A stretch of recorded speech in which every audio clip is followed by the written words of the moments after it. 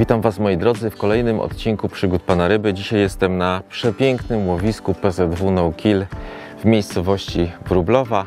To łowisko należy do okręgu PZW w Krośnie. E, przyjechałem tutaj, ponieważ byłem tutaj pierwszy raz w ubiegłym roku na zaproszenie e, Brygady Strzelców Podhalańskich z Rzeszowa, którzy organizowali sobie tutaj zawody. Ja byłem gościnnie, połowiłem wtedy bardzo dużo ryb. Zakochałem się w tym zbiorniku od, można powiedzieć, pierwszego wejrzenia i dzisiaj postanowiłem przyjechać tutaj, e, przeprowadzić kolejne testy nowej zanęty 909 Green. O niej za chwileczkę zapraszam na film. Mamy dzisiaj przepiękną pogodę. No, ostatnio są upały z tymi braniami i e, z e, żerowaniem ryb jest ostatnio bardzo ciężko. E, Przeważnie te ryby żerują wieczorem, późnym popołudniem albo nad ranem. No ale cóż, e, jestem, trzeba czas wykorzystać, trzeba po prostu popróbować. E, I dzisiaj po raz kolejny będę testował zanętę 909 Green. Moi drodzy, ja co jakiś czas wypuszczam pewne nowości, tylko i wyłącznie wtedy, kiedy one po prostu wewnętrznie mnie osobiście się sprawdzają. Testuję, dostaję różne komponenty. E, W następnej kolejności daję do testów publicznych jeśli przychodzą pozytywne opinie, e, to daję później do sprzedaży. Tak było z zanętą 909 Green, którą de facto e, od tego roku, od początku tego roku testowałem. Dostałem jeden ze składników, czyli green betainę w postaci alg morskich, suszonych, z dodatkiem jeszcze pewnego takiego innego składnika. Bardzo dużo osób, którzy używali właśnie tej 909 Green, powiedziało mi osobiście, że no, wyróżnia się na łowisku, wyróżnia się też spośród innych. Natomiast jeszcze jest za wcześnie, żeby powiedzieć w ten sposób, że ona się wyróżnia, ponieważ te testy muszą być długofalowe, długoterminowe, kilkanaście razy nad wodą na różnych wodach PZW komercyjnych z mniejszą, z większą ilością ryby. Wtedy można będzie powiedzieć, e, czy ona jest e, no, bardzo dobra. Ja uważam, że tak. Ja już przeprowadziłem kilkanaście tych testów i ona się e, sprawdza, szczególnie właśnie w warunkach, gdzie zbiorniki są zamulone, gdzie zbiorniki mają bardzo dużo roślinności wewnątrz.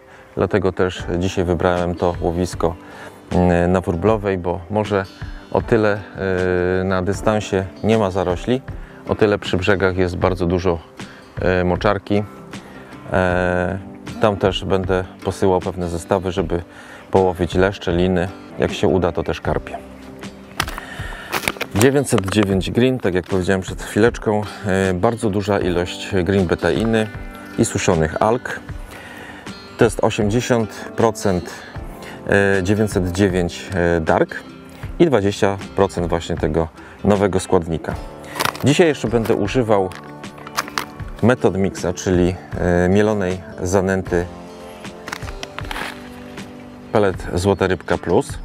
Pelet Złota Rybka Plus oczywiście podstawa też tutaj na łowisku, ponieważ będę chciał e, stworzyć troszeczkę grubsze frakcje, frakcje smużące i frakcje wabiące. Mam też tutaj trzy pojemniczki, do tych trzech pojemniczków właśnie będę rozrabiał e, osobno te wszystkie e, produkty, czyli dwie zanęty i jeden pelet. Zaczynam od peletu, ponieważ pelet y, najdłużej się moczy, najdłużej dochodzi, najdłużej wsiąka wodę. I tutaj peletu zrobię sobie bardzo dużo, ponieważ pelet to jest podstawa o tej porze roku. Jego musi być bardzo dużo.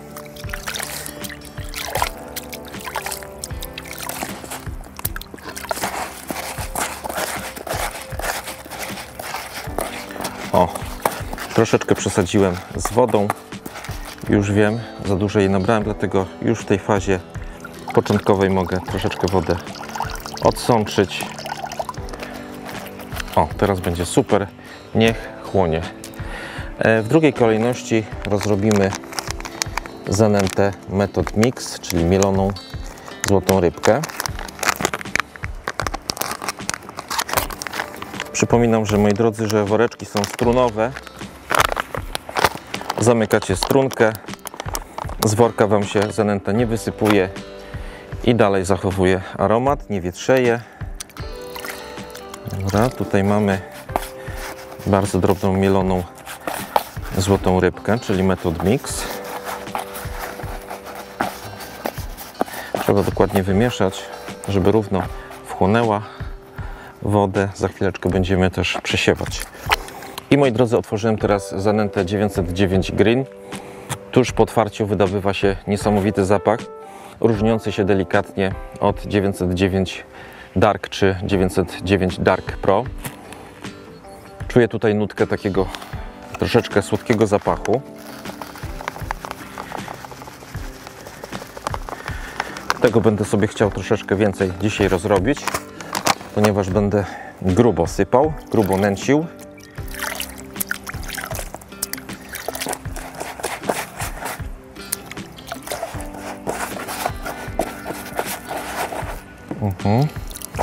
I co ważne, moi drodzy, 909 green naprawdę trzeba przesiewać.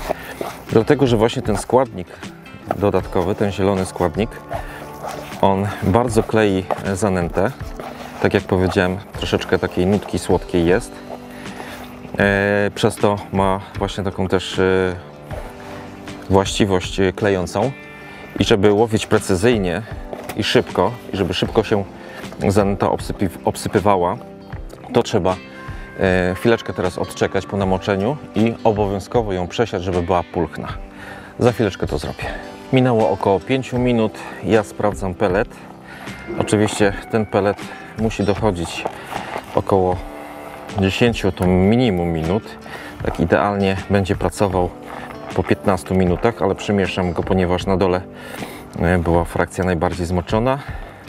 Od czasu właśnie do czasu, co jakieś 2-3 minuty trzeba ten pelet przemieszać. On jeszcze będzie sobie dochodził. Natomiast zanęty już są bardzo dobre do przesypywania i zobaczcie ile jest grudek. Tutaj jest nawet zanęta e, złota rybka plus w postaci mielonej, czyli metod mixa. Przesypujemy, przesiewamy na sitku. Sitko o grubości 3 mm, oczko na zupełności wystarcza. Tak, właśnie mamy te grudki, niech one jeszcze wsiąkną, troszeczkę niech się wysuszą. Za chwileczkę przesiejemy, bo po prostu one zatykają e, oczka w sitku, jak sami widzicie. A zanęta prawidłowo domoczona, ona ma się po prostu przesiać, a nie zatykać nam oczek. No i odczekałem kolejnych tam powiedzmy kilka minut, żeby te takie grudki wsiąkły wodę i przesiewam je. Teraz zobaczymy, czy... O, bardzo dobrze. Teraz się świetnie da przesiać. Nie zatyka nam oczek. Elegancko. Super. Więc mamy już jedną mieszankę gotową.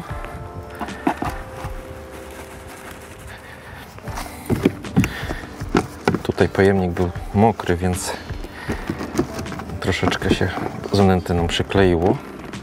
Pamiętajcie, aby po prostu pojemnik był suchy, nic się nie dzieje. Tutaj mamy już gotową zanętę Method Mix. Ten namiar wyrzucę do wody. Tutaj pod brzeg będę troszeczkę też nęcił. Ok. I teraz przesieję 909 Green. Jej mam troszeczkę więcej, dlatego że będzie mocniej testowana. Dlaczego wybrałem zanętę Złotą Rybkę Plus? Ponieważ wiem od lokalnych wędkarzy, którzy kupują nasze produkty, że pelet Złota Rybka Plus i właśnie F1, e, przepraszam, Method Mix e, bardzo dobrze się tutaj sprawdza. Tutaj te zanęty jest troszeczkę więcej, więc troszeczkę dłużej nam zejdzie przesianie. Zależy mi właśnie, żeby była bardzo drobna frakcja, dlatego wybrałem oczko sitka 3 mm. Można wybrać 4 mm, ale ja po prostu wolę taką pulchniutką. Ona później szybko pracuje po dodaniu mm, do podajnika.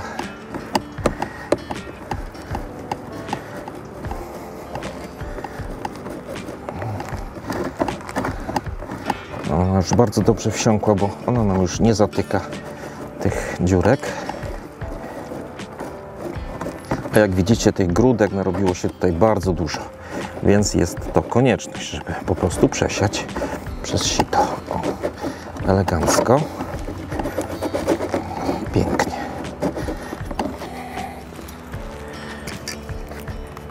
I mamy, o, taką półsuchą, no mega, mega, mega. Zobaczymy, czy będzie taka mega podczas łowienia, no nie?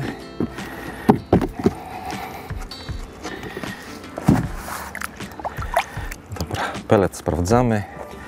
Już minęło 10 minut, a jeszcze troszeczkę. Jeszcze 5 minutek i będzie idealnie. Ja, moi drodzy, na to łowisko przyjechałem już wczoraj, e, późnym popołudniem, w zasadzie pod wieczór, bo jak zauważyliście po moich filmach, e, wciągnęło mnie ponownie karpiowanie. Ja kiedyś bardzo dużo karpiowałem, ostatnio mniej, bo zajmowałem się e, metod federem, ale nie zostawiłem tego karpiarstwa, zrobiłem kulę, cały czas oczywiście je testuję. I też, moi drodzy, mm, wczoraj y, wieczorem miałem bardzo fajne efekty. Za chwileczkę Wam o, o nich opowiem, ale chciałem Wam właśnie y, pokazać zanętę, której używałem y, do podajników XL do karpiowania. Ponieważ był rano deszcz, tą zanętę mi po prostu przymoczyło. Ja ją schowałem, ale tak mocno deszcz zacinał, że po prostu yy, woda się dostała do tej zanęty i ona w tym momencie jest przemoczona. Ja tutaj mam 909 green, dwa opakowania. Jedno opakowanie właśnie Złotej Rybki Plus yy, peletu i jedno opakowanie metod mixu, właśnie tego, którego przed chwileczką yy, używałem. Będę używał, rozrabiałem. I tutaj powrzucałem kule 18 zanętowe 909, 808 yy, szery i owocowe. Yy, 808 wziąłem tutaj te kule, ponieważ yy, tutaj lokalny wędkarz, który yy, testuje yy, moje produkty, stwierdził, że 808 szery, czyli ta kula yy, o aromacie wiśni i dodatkach truskawki, na tym łowisku sprawdza się bardzo dobrze. Ale nie o tym. Moi drodzy, ta zanęta jest przemoczona. E, Ja też będę jeszcze może później pod wieczór e, karpiował, ponieważ e, tutaj właśnie też koledzy, którzy siedzą na stanowiskach obok, powiedzieli mi, że w ciągu dnia to możesz tylko tutaj połowić leszcze nielicznie może się trafić karp. Natomiast wieczorem, tak po godzinie 23 żeruje karp, tak do rana. I tak też było, ale o tym za chwileczkę. No i właśnie, chciałem tą zanętę y, uratować, bo ja ją daję też do łódeczki i na podajnik. Jest przemoczona, nie martwcie się. Mamy dzisiaj słońce. Ona szybko wyschnie. A żeby jeszcze przyspieszyć to schnięcie, to dodałem 707 Extreme, czyli zanęty z bardzo dużą ilością orzecha tygrysiego. I tutaj też ta zanęta na tym łowisku bardzo się sprawdza. Ja cały czas mam kontakt z moimi testerami, którzy łowią e, po różnych łowiskach i zdają mi relacje, co na co, kiedy ja to później wykorzystuję. Do też takich własnych testów, prawda? No, już jest coraz lepiej. Tutaj oczywiście nie będziemy tego przesiewać, bo z tego robimy kule, takie karpiowe z, z kulami osiemnastkami i takie grudki, y, które Wam przed chwileczką pokazywałem w metod federze zupełnie nie przeszkadzają karpiom. One po prostu pobierają jak wściekłe, jak pobierają oczywiście. Dlatego tutaj uratowałem zanętę. Zresztą Wy też możecie sobie właśnie w ten sposób po prostu uratować zanętę, jeśli przemoczycie. Bo czasami się tak zdarza, że po prostu wleje Wam się troszeczkę więcej wody, później martwicie się, co z tym zrobić, ona po prostu się klei, nie pracuje. To jest rozwiązanie. Albo jeśli macie taki właśnie pogodny, gorący dzień jak dzisiaj, to odczekać, ale nie ma co czekać, to trzeba łowić z marszu i od razu, to najlepiej po prostu dodać sobie suchej frakcji jakiejś innej zanęty. Dobra, spożywka e, gotowa. Ja zabieram się za sądowanie zbiornika, ponieważ no nie za dużo wiem o nim, jeśli chodzi o właśnie ukształtowanie dna. Będę sobie podajnikiem troszeczkę sądował, szukał mi, y, twardszego miejsca, bo tutaj bywają takie miejsca. Przeważnie jest tutaj, tak jak powiedziałem wcześniej, łowisko takie zamulone. e, gliniaste. Nie jest to takie właśnie piaskowe, jak e, bywa na żwirowniach. Jest to łowisko z takim miękkim dnem. Będę sobie szukał miejsca twardszego. E, I też będę chciał łowić właśnie na tych płytszych miejscach, ponieważ jest lato. Tam ryba najczęściej się wygrzewa właśnie w taką pogodę, na tych płciznach. Do dzieła. No i ok, pelet gotowy, zanęty są gotowe. Czas na łowienie. O. Taki kosz wędkarski takich warunkach sprawdza się idealnie, ponieważ ma regulowane wysokości nóżek i może się dostosować, ukształtować do każdego terenu, a jak sami widzicie, no, jest tutaj wysoka skarpa, tutaj e, tuż przy brzegu no, jest tak nierówno, dlatego musiałem troszeczkę z tym koszem wejść do wody. Podest, no to jest bardzo ważna sprawa. I moi drodzy, wypoziomowanie też tutaj jest dosyć ważna sprawa, bo jeśli staniecie, wychylicie się do przodu, żeby czasami nie zdarzyło się tak, że po prostu kosz się przesunie i wpadniecie do wody. no Nie?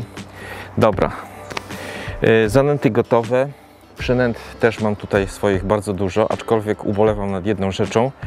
Nie wziąłem ze sobą yy, wanilii marcepana. Zawsze ją mam, ale była ostatnio taka sytuacja, że jak łowiłem na zbiorniku, yy, była to leśna przystań Ocieka, ten wanilia marcepan mi tak chodził, że yy, kilku kolegów było koło mnie, poczęstowałem jednemu po prostu już dałem wszystko. Mm, Zapomniałem sobie wziąć ze sklepu, no ale trudno, może uda się bez tej wanilii marcepana też dzisiaj coś połowić. Mam tutaj szereg innych swoich przynęt, zoomy, waftersy, zoomy aromatyzowane w różnych kolorach. No i oczywiście rozpocznę od Black Horse'a.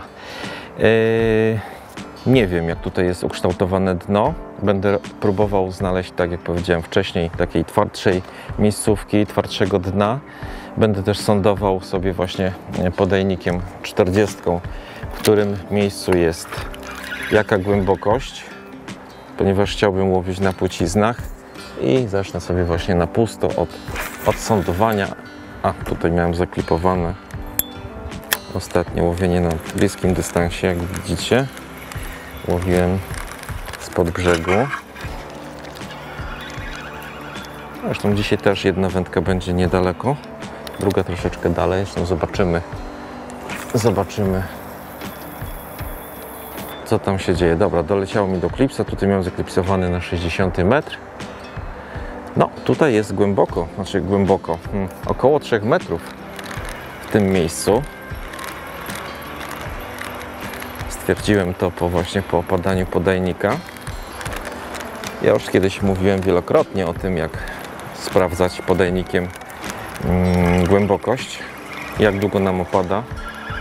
Teraz już nawet po prostu nie muszę liczyć, bo z doświadczenia wiem po tylu set razach gruntowania. Pach. O, i czekam na szczytówkę, leci, leci, leci, leci, leci, leci, leci. I teraz dosłownie. To akurat właśnie jest jakieś 2,5 metra. Mm, Zostawię chwileczkę podajnik yy, w tym miejscu. Zrobię szybką podrywkę. Dobra, jest ok, jest twardo. Nie wbił się w muł. Zaklipsowany jest na 60 metrze i będę sobie łowił jedną wędką na tym dystansie. Zobaczymy. Elegancko. Teraz jeszcze szukam miejscówki, tak jakieś 5-10 metrów obok. Dobra, sprawdzamy głębokość. Podobna. I jeszcze raz.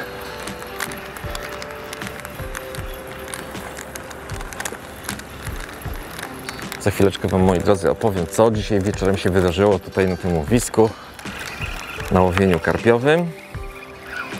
Ale sprawdzę sobie jeszcze inne miejsce. Znowu bardziej w lewo, pach i mamy, patrząc po szczytówce, o, te same są, że tak powiem, głębokości. A sprawdzę jeszcze kilka miejsc.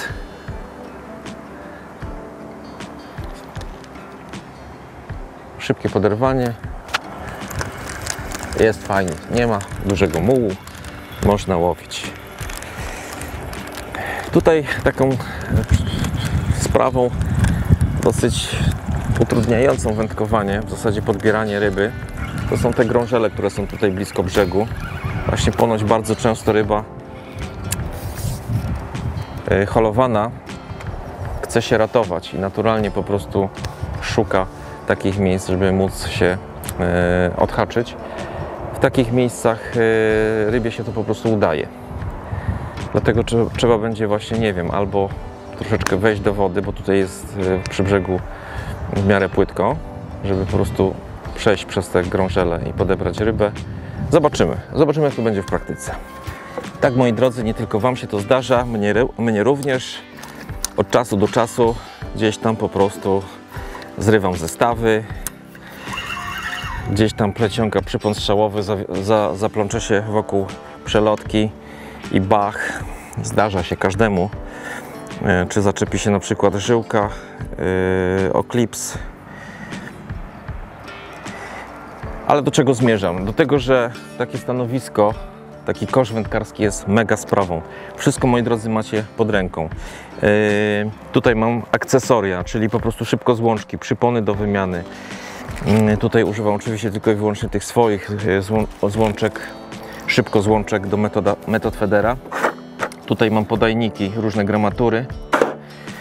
E, tutaj już mam założony e, podajnik 40.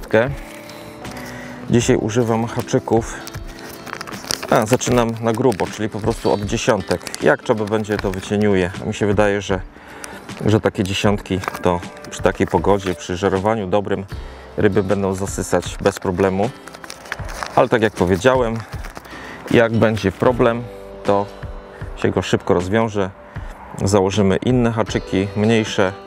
Ja tutaj mam w tej chwili Kamasany T911. To są jedne z najczęściej używanych przeze mnie. Ale też używam T360. Zobaczymy, porównamy. Mamy dzisiaj cały dzień na testy. Dobra, pach.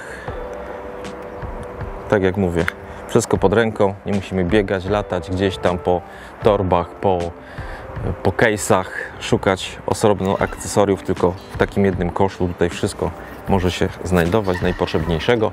Zresztą to jest ważne podczas zawodów, prawda? Oczywiście mamy kilka wędek y, przygotowanych, żeby szybko wymienić i, i rzucać, bo to na, na zawodach jest y, bardzo ważne. I wtedy jak zarzucimy wędkę, to wiążemy ten zerwany zestaw na innej wędce. Tak to powinno się odbywać. Ale niemniej do takiego wędkowania rekreacyjnego, szybkiego, też takie kosze są bardzo fajną sprawą.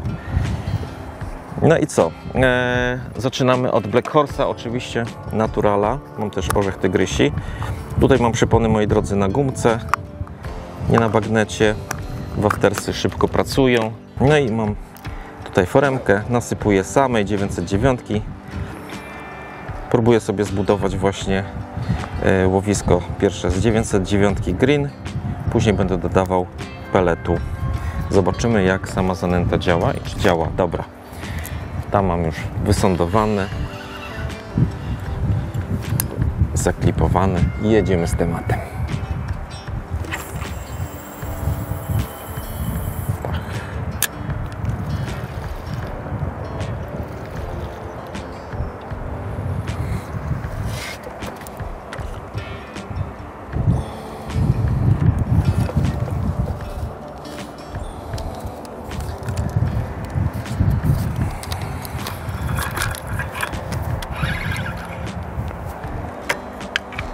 I na drugiej wędeczce też podajnik 40, ponieważ są to wędziska do 100 gramów. Więc co tutaj założymy? No nie mamy nic żółtego. Nie, mamy. Mamy zoomy żółte. Co prawda nie aromatyzowane są. O, w tych zoomach żółtych znalazłem. Nie, myślałem, że to jest właśnie moja wanilia marcepan. A też nie wziąłem ze sobą aromatu, bo można by było zaromatyzować. Dobra, ale założymy żółtego waftersa. Zobaczymy, czy będzie działał żółty. Pach.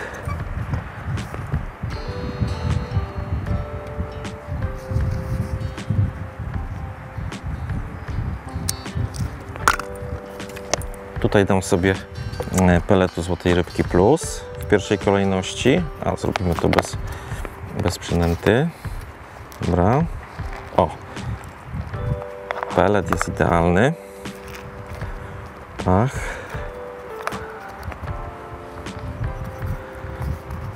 Pięknie nam się formuje. I na wierzchnią warstwę oczywiście idzie w pierwszej kolejności 909 green.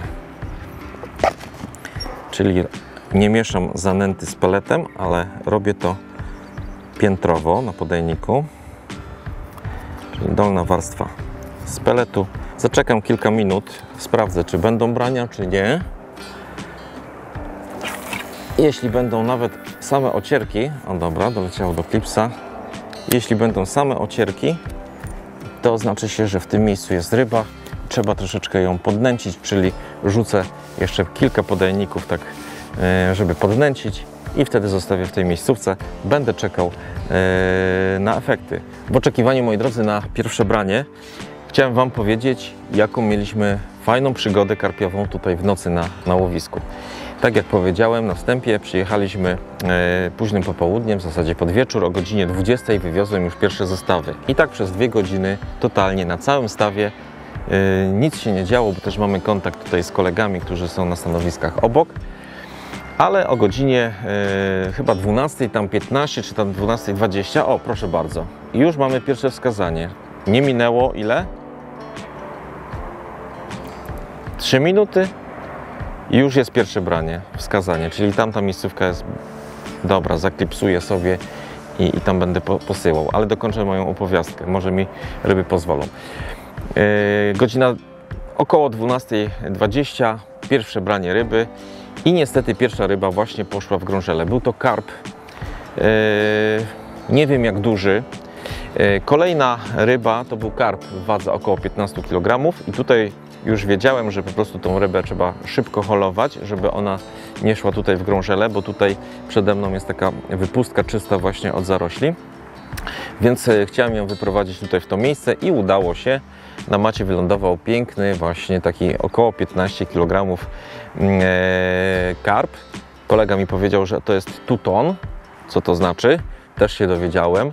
Czyli zobaczcie e, na ujęciu filmowym ma jakby takie dwa odcienie, prawda? Czyli ciemniejszy na jednej stronie mm, tułowia i drugi taki jaśniejszy.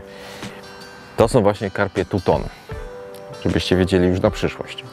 Człowiek całe życie się uczy, prawda? Eee, I co dalej? I później, e, godzinę później, jakiś tam leszcz trafił się właśnie na kulkę 18 mm i na samym końcu jeszcze dwa takie karpie w przedziale około 2-3 kg. To już ich w ogóle nie nagrywałem, to było gdzieś tak nad ranem o godzinie czwartej. Później poszedłem sobie spać do samochodu.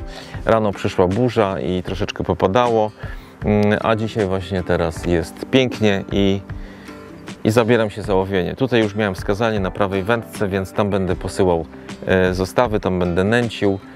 Zabieram się już tak za e, łowienie na ostro, żeby Wam pokazać e, efekty no właśnie tej 909 Green, prawda? Też jestem bardzo ciekawy dzisiejszych testów. Usprawiedliwiam się tym, że właśnie koledzy mówią, że przez ostatnie dni, jak jest ten upał, no to ta ryba w ciągu dnia, no to tak po prostu nie żeruje. Zresztą pewnie też Wy też to zauważyliście na swoich łowiskach. Też obserwuję różne grupy, yy, roluję na Facebooku Wasze informacje i sami właśnie mówicie, że no, co tu zrobić, yy, żeby połowić w takie gorące dni. No pewnie jechać na ryby w nocy, bo one najbardziej będą w nocy pewnie pobierać. Chociaż nie jest to regułą. Tu coś się dzieje cały czas i na jednej i na drugiej wędce. Dobra zabieram się za łowienie. Powiem Wam tak, e, pierwsze branie nastąpiło po około 5 minutach. Był to, była to nieduża płoć. Natomiast e, teraz mo, można powiedzieć, że prawie z opadu, bo na to branie chyba czekałem kilka sekund. Przepiękny leszcz. Przepiękny. Co prawda przyjechałem tutaj na karpie, bo w ubiegłym roku jak byłem tutaj, to w większości łowiłem właśnie dużo karpi i rzadko kiedy się trafiał leszcz. Dzisiaj te. A, tu już się rybka wypięła. O, elegancko. Ryby się rozkręciły i wkręciły w łowisko. To już trzecia ryba. Pierwsza to była płotka, druga to był taki ładny leszcz. Wziąłem sobie właśnie brokata, brokatowego waftersa pana ryby w kolorze żółtym. No i kolejny piękny leszcz. Pierwszy nie dał się do końca sfotografować, wyślizgnął mi się z ręki. Ładny, ładny, ale są tutaj większe. No, pię piękny taki złociutki.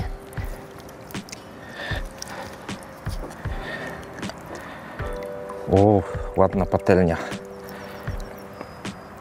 Żółty kolor brokatowy.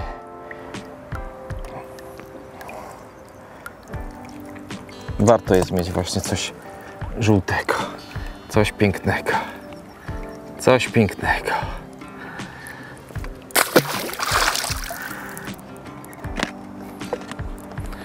Tutaj mam przygotowaną kolejną, kolejny podejniczek i lecimy do klipsa.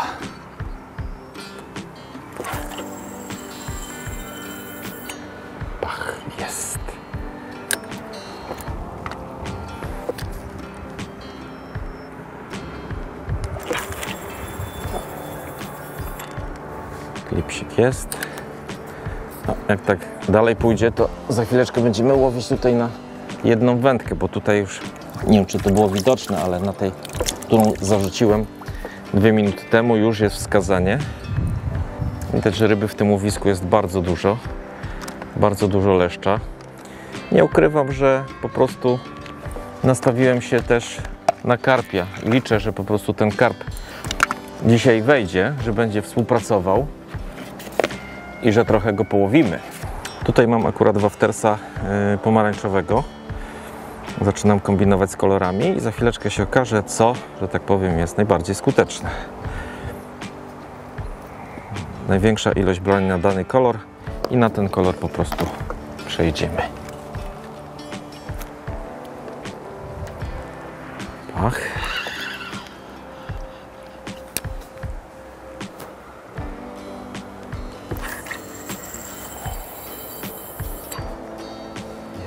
Jest ok.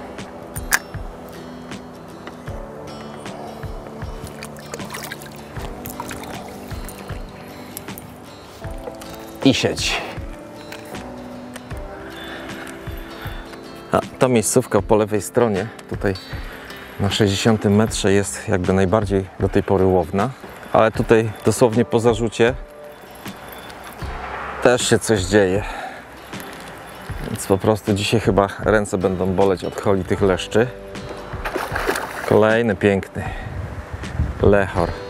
Żółty kolor. Jak na razie żółty kolor wygrywa.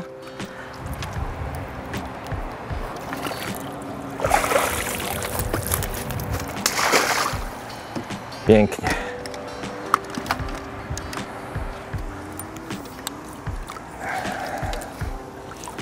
Ale tu są piękne te lechory.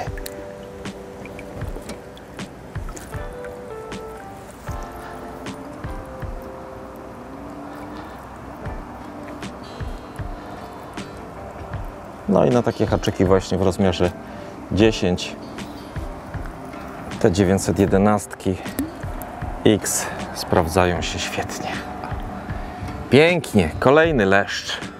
Dobra, moi drodzy, koniec z leszczami, to znaczy się, ja je sobie będę spokojnie odławiał, ale już włączę kamerę, jak będą się trafiać jakieś większe karpie, mam nadzieję. Tutaj, moi drodzy, w tym miejscu jest tarlisko trzciny, tu jest zakaz wędkowania, nawet po prawej stronie jest taka tabliczka. Tam ryby odpoczywają, tam się ryby trą. E, My podglądnęliśmy kamerą z drona, jak te ryby tam e,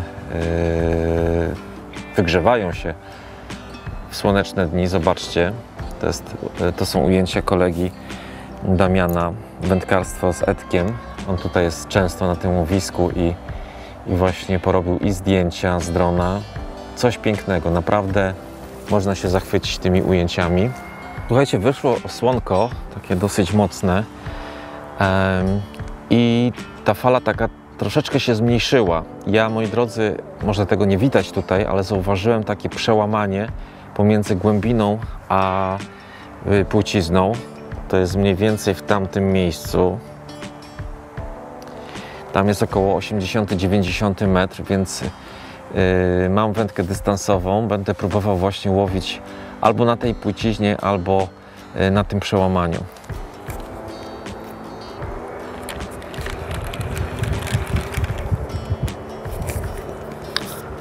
Jest kolejny, prawdopodobnie lechor. Świetnie. Właśnie na 90 metrze, mniej więcej tak na oko, jest takie przełamanie. Yy, będę próbował tam posyłać zestawy. Co prawda, brań mam tutaj bardzo dużo z tego miejsca. Przeważnie leszcze. Może tam zapolujemy na karpie, może akurat tam będą karpie. Wziąłem sobie specjalnie wędkę dystansową 390 do e, 150 Sportex Rapid. Ten kij ostatnio był publicznie przetestowany.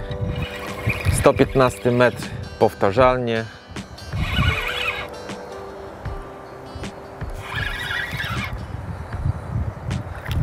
O i kolejny piękny leszcz. W zasadzie lechor. Leszcze to są małe, duże to są lechory.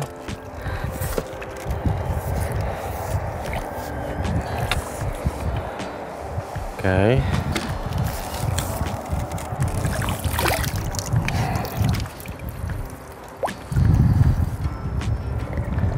Cały czas żółty kolor tutaj dominuje. Piękne leszcze. Lechory.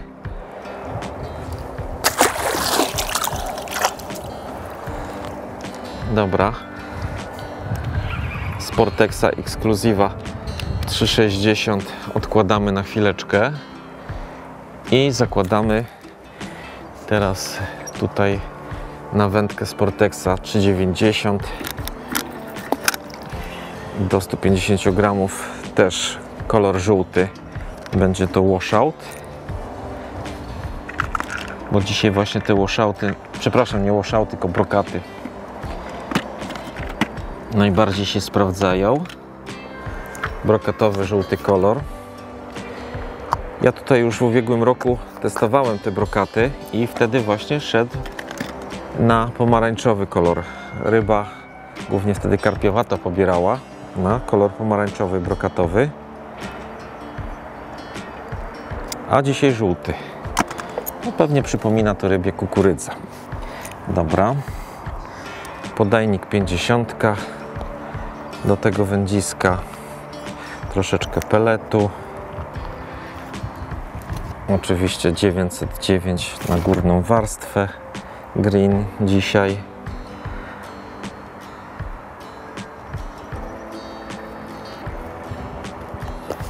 I jedziemy na dystans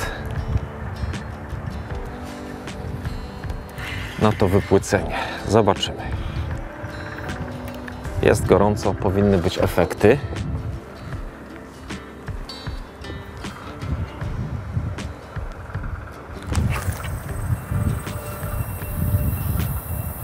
Ale pięknie śmiga.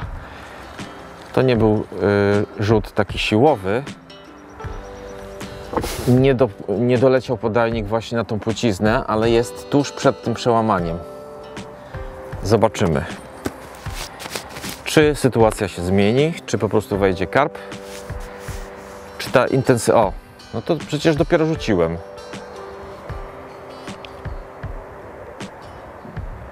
Już atakują przynętę i zanętę. Tutaj, moi drodzy, w pewnych chwilach nie da się łowić na dwie wędki, nie ma szans. Po prostu jak stado leszczy wejdzie w miejscówkę nęconą punktowo, to jest Armagedon. Rzut, opad, parę sekund i jest leszcz. Tutaj jeszcze nie klipowałem, ponieważ nie dorzuciłem. Drugi rzut będzie troszeczkę mocniejszy. Trafię na to wypłycenie i wtedy będziemy wiedzieć, widzieć przede wszystkim różnice w braniach. Pora podsumować dzisiejsze wędkowanie niezliczona ilość leszczy, e, mniejszych, większych, duża ilość płoci i wzdręg. E, Ale zauważyłem, moi drodzy, że jednak trzeba tutaj sporo podawać. Ja nawet e, w trakcie łowienia wywoziłem łódką tak po 3 kg zanęty z ziarnem, z kukurydzą i one po prostu wchodziły, żarły, także po prostu jest ich tutaj bardzo dużo. Natomiast też zauważyłem, to jest Mistrzostwo Świata, pierwszy raz w życiu miałem coś takiego, żeby ryby kradły mi e, przynęty, to znaczy się niemalże za każdym razem, praktycznie za każdym razem miałem taką sytuację, że jak zwijałem zestaw, to nie miałem przynęty na gumce. Po prostu skubały, skubały, obskubały, e, troszkę było takich brań, wskazań, zacinam pusto. I za każdym razem jak ściągałem, to, to, to nie miałem przynęty. Kombinowałem też tak, żeby e, ograniczyć e, długość włosa. E, Zrobiłem sobie takie przypony, że była gumka tuż przy haczyku i skubańce to samo robiły. E, Więc tak, najbardziej sprawdzał się oczywiście pole Złota Rybka Plus, Zanęta Method Mix y, Plus. 909 gry cały czas używałem, ale jeszcze w międzyczasie domieszałem sobie 707 Extreme. E, To jest taka zanęta z orzechem tygrysiem, ona fajnie smuży i też ryby wchodziły w tą zanętę. Zobaczę, może jeszcze uda mi się wynegocjować nockę z moją żoną, żeby zostać tutaj e, jeszcze połowić w nocy, bo totalnie jeśli chodzi o karpia na całym stawie nic się nie działo. E, Koledzy siedzą tam po drugiej stronie, e, złowili kilka leszczy tak samo, zero karpia i tam kolega, który też łódką wywozi, który jest e, stanowisko za mną, też ani jednego brania dzisiaj w ciągu dnia. No, tak po prostu bywa czasami. No, chciałbym właśnie jeszcze zostać na nockę, ale zobaczymy. Tymczasem żegnam się z Wami, zapraszam do oglądania kolejnych przygód Pana Ryby. Gdzie będę następnym razem, sam nie wiem, ale oglądajcie, to się dowiecie.